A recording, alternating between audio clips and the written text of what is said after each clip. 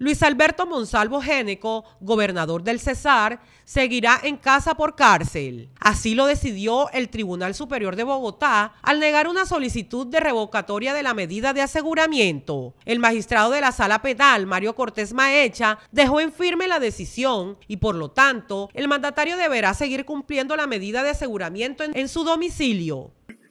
Han sido ya abastados todos los argumentos que se han dado por parte de los recurrentes y entonces em, no queda otra alternativa sino la de ratificar la decisión que ya se adoptó y por consiguiente no reponerla. Mm. El tribunal negó por cuarta vez la solicitud de libertad al dirigente político, quien permanece en su casa recluido desde julio del 2021. Tras la decisión del exmagistrado de la Corte Suprema, José Luis Barcelo, abogado del mandatario presentó un recurso de reposición, petición que fue negada. La investigación se abrió por irregularidades en un contrato del Plan de Alimentación Escolar PAE de 17.140 millones de pesos durante su primer mandato entre el 2012 y 2015 suscrito magistrado sobre la petición formulada por el defensor de Luis Alberto Monsalvo Géneco encaminada a obtener la revocatoria de la medida de aseguramiento que se le impuso dentro de la actuación adelantada en su contra por la presunta comisión de los delitos de peculado por apropiación y contrato sin cumplimiento de los requisitos legales.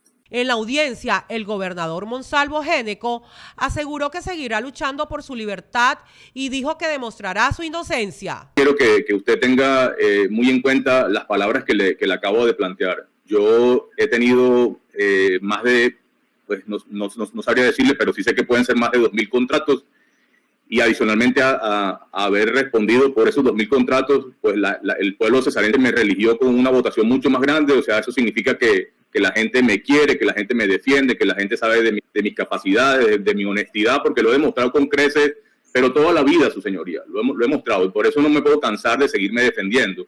Y, ese, es el mejor de, las muestras. Esto, yo sé, su señoría, que, no es un mini juicio como tal, pero en últimas también termina convirtiéndose en un mini juicio porque, porque, porque de forma injustificada ya, ya decidieron privarme de la libertad. Entonces, esto que supuestamente, entre comillas, no es un mini juicio, sí es un juicio porque ya a mí prácticamente me juzgaron eh, de antemano y esto se convirtió en un juicio. Entonces, si me, si me excusa su señoría, yo de forma breve, porque al mismo tiempo sé que este no es el juicio final, yo le podría decir que usted puede tener toda la confianza de que en este proceso no existen, incluso se le preguntó al fiscal en su, en su debido momento que si tenía alguna grabación en mi contra y él dijo que no tenía grabaciones en mi contra.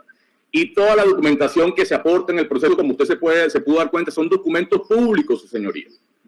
Son documentos colgados en el, en el, en documentos públicos y, y, obviamente que para poder endilgarle a alguien un delito, como, como en este caso particular, no, no, en principio las pruebas no pueden estar en los documentos públicos porque los documentos públicos se hacen de buena fe y en, en principio esa esa no puede ser prueba para poder eh, endilgarme a mí un delito.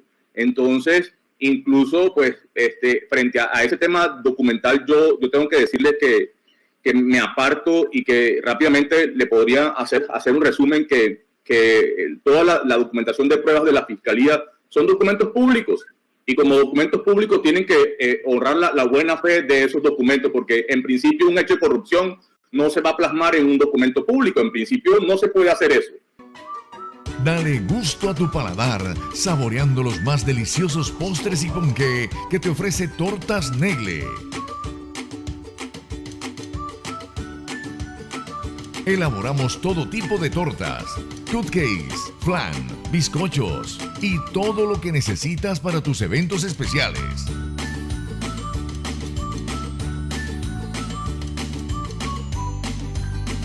Ven y disfruta nuestro café de origen.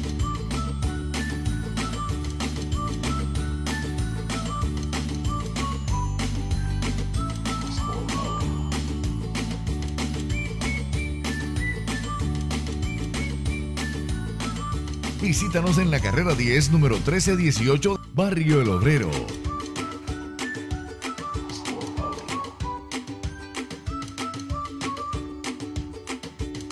Para tus pedidos, llámanos al 314-310-1414 y 588-8639.